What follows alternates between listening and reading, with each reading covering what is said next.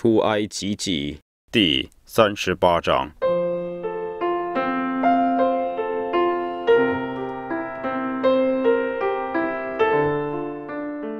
他用皂荚木做梵祭坛，是四方的，长五肘，宽五肘，高三肘。在坛的四拐角上做四个角，与坛接连一块，用铜把坛包裹。他做坛上的盆、铲子、盘子、肉叉子、火鼎，这一切器具都是用铜做的。又为坛做一个铜网，安在坛四面的围腰板以下，从下达到坛的半腰。为铜网的四角铸四个环子，作为穿杠的用处。用皂荚木做杠，用铜包裹，把杠穿在坛两旁的环子内，用以抬坛。并用板做坛，坛是空的。他用铜做洗濯盆和盆座，是用会幕门前伺候的妇人之镜子做的。他做帐幕的院子，院子的南面用捻的细麻做围子，宽一百肘，围子的柱子二十根，带卯的铜座二十个，柱子上的钩子和杆子都是用银子做的。北面也有围子，宽一百肘。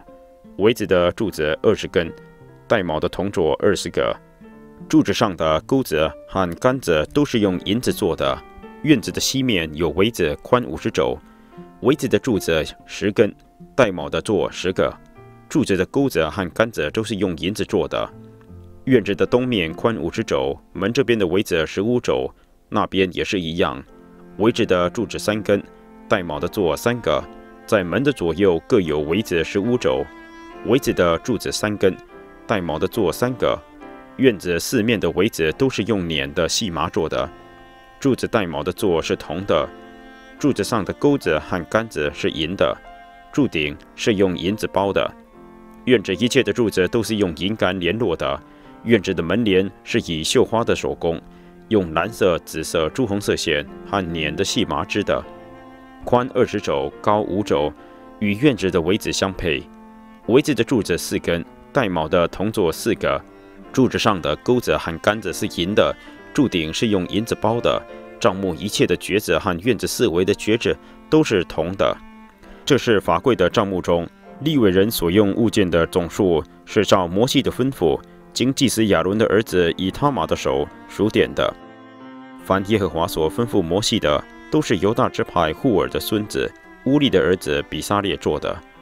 与他同工的有但支派中亚西沙摩的儿子亚和利亚伯，他是雕刻匠，又是巧匠，又能用蓝色、紫色、朱红色线和细麻绣花。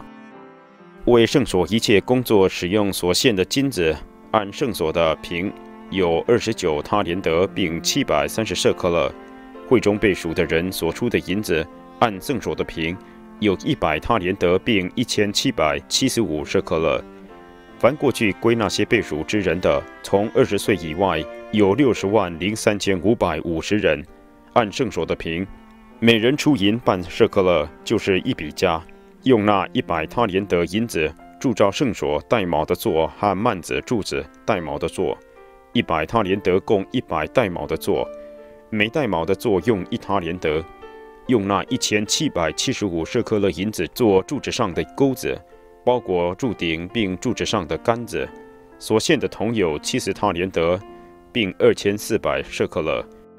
用这铜做会木门带卯的座和铜坛，并坛上的铜网和坛的一切器具，并院子四围带卯的座和院门带卯的座，与帐幕一切的橛子和院子四围所有的橛子。